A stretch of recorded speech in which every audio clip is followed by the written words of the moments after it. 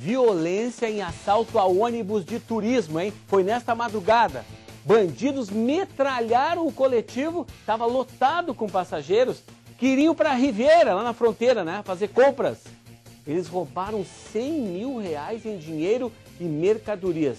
Olha só, olha como é que ficou o ônibus. Põe na tela do Rio Grande. Os tiros que acertaram o para-brisa tinham mira certa. O alvo era o motorista do ônibus de excursão.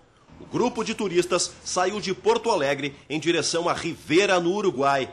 A viagem de compras terminou de forma violenta. Muito agressivo, uma coisa assim que não, não tem explicação. Tanto que duas senhoras que estavam com muito pouco dinheiro, né, só tinha dinheiro da despesa mesmo, né, eles acabaram agredindo elas por esse motivo, né, porque não, não, não tinha o porquê delas estar com esse dinheiro todo, só que eles achavam que dinheiro junto. Segundo o dono da empresa de turismo, o ataque aconteceu uma hora depois do grupo deixar a capital gaúcha, ainda na madrugada.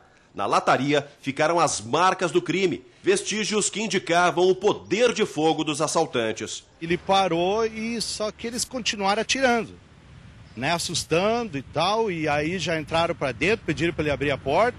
Ele, ele se atirou no chão para nenhuma bala acertar nele, né? De acordo com um dos motoristas, a quadrilha já seguia o coletivo a pelo menos 10 quilômetros. Neste trecho da BR-290 em Arroio dos Ratos, o bando interceptou o ônibus.